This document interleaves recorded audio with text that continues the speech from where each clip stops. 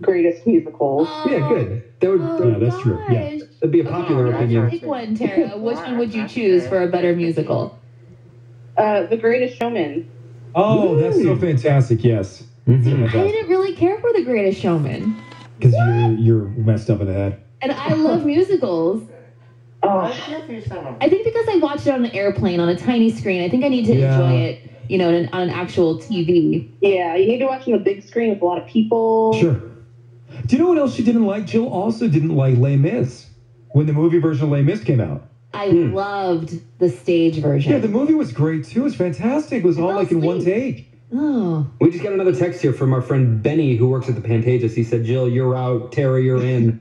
Jill's sort of been the ambassador, and uh, no. That's right. From Justin to Kelly is just such a fun movie, and the music is so good.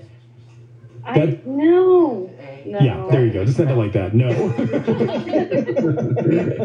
Tara, thanks for calling in. Have a great day, okay? Thank you. You too. All right, love. Bye bye.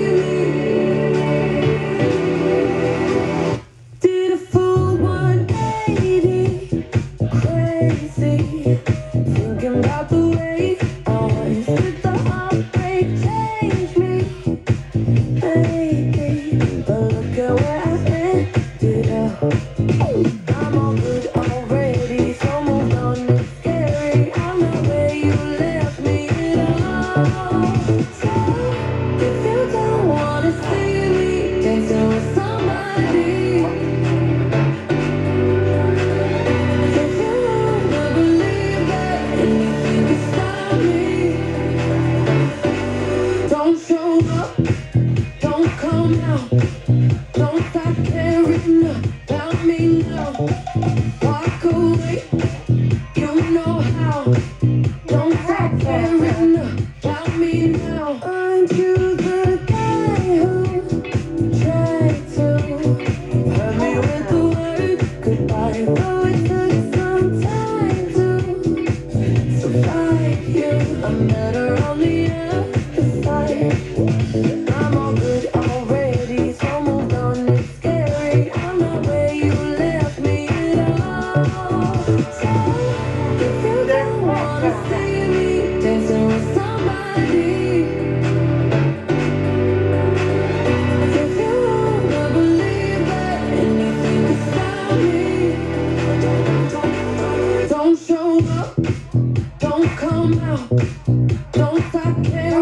about me now.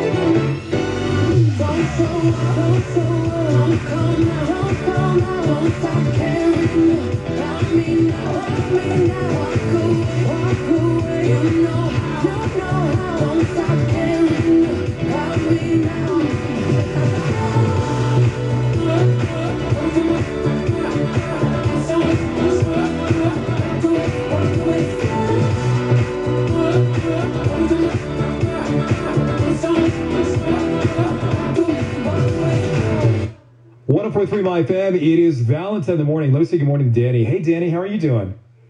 I'm great. How are you guys? We're doing fantastic. So, what is your unpopular opinion?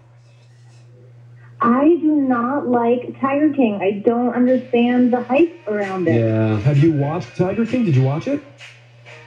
Um, I did. I tried to watch Yeah. two. Well, I got through two and a half episodes, and that's what everyone said. Get through the first one, and you'll be fine, or through the second. Yeah. And so I got two and a half in, and I just, I, I couldn't, I couldn't do it. I, I don't know. I felt bad for the animals. I, I love animals. I don't know. I just, Yeah.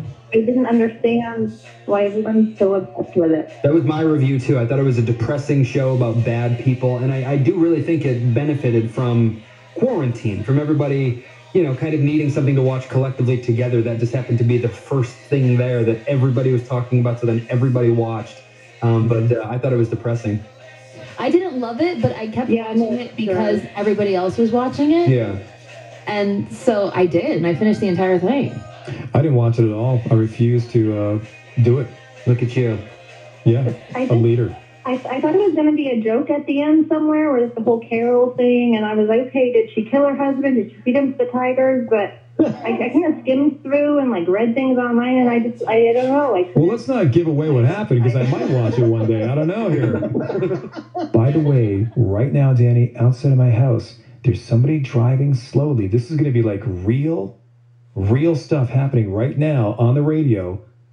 They may be picking up a chair, an old chair that I placed on my sidewalk. Now, listen. oh, you put stuff on the free on the free sidewalk, huh? Yes. People are a lot of people, you know, the car chases aren't happening as much anymore, and there's a lot of stuff that uh, you know, we're we don't get to see on TV anymore because there's nobody out there on the roads as much. But right now, somebody is taking a picture of a chair on my sidewalk, making a decision as we speak. They're in a white SUV, as a matter of fact, making a decision whether or not to pick up that chair. Huh. This is what radio was made for. Maybe they're out there. Maybe they're out there listening to the show, and they will fall asleep listening to that story before they have a chance to get the chair. Danny, don't laugh at that. Don't laugh at that, Danny. it's a valid point, okay? No, it's not a valid point. Go watch Tiger King again. You can't trust yourself for any reviews. You're reviewing the show and Tiger King, and oh my gosh. no, you guys are my favorite. Well, thank you, I. I listen all the way from Phoenix, so Oh, Oh, you're from Phoenix. Oh, that's great. You're on iHeartRadio. Thank you very much. Appreciate that. yes. Well, I yeah. Well, I'm from. Uh, we just moved here from Santa Clarita about a year ago. Okay. So, uh, but I still listen every morning, and you guys are like my my little my online best friends. So. What do you guys use? Is it a, like an Alexa or Google or Siri, or how do you listen to us?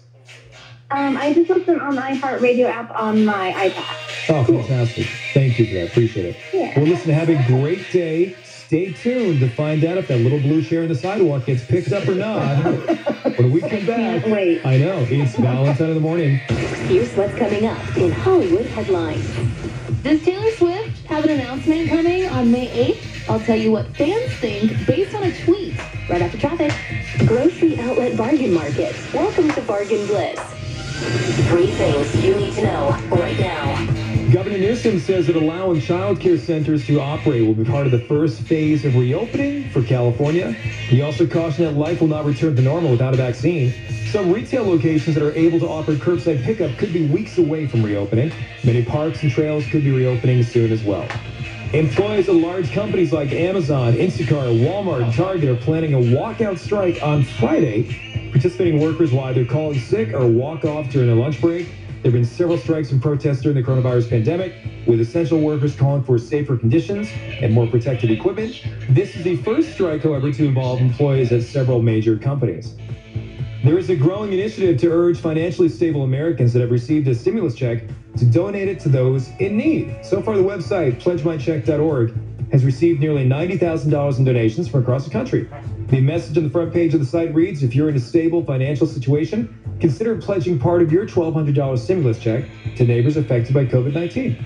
Every little bit helps. If you can, if you can give back at any point to anyone who's in need, it's always a good thing. There you go. Those are three things you need to know. Valentine in the morning. 1043 My FM. You're part of the AAA family, and we understand saving money and peace of mind are your top priority. So AAA is refunding $125 million to our current auto policy holders. AAA has been part of the community for over 100 years. As part of that commitment to our community, AAA is donating $1 million to the United Way COVID relief efforts and offering free roadside assistance to medical workers and first responders. For details, visit AAA.com. AAA Insurance is underwritten by the Interinsurance Exchange of the Automobile Club. To our Ralph's associates, for the long hours and late nights, for the miles traveled and the shelves restocked, for making a difference in our customers' lives. Everyone at the Kroger family of brands and our customers say thank you. Ralph's, fresh for everyone. And through May 12th, you'll earn four times the fuel points on gift cards for Mother's Day. Just download your digital coupon. Restrictions apply. Ralph's, fresh for everyone. Plenty of sunshine and patchy clouds with temperatures mostly in the 80s. You're looking at 89 for a high today in Northridge. This report is sponsored by Lowe's. Because this is a radio commercial, we can't show you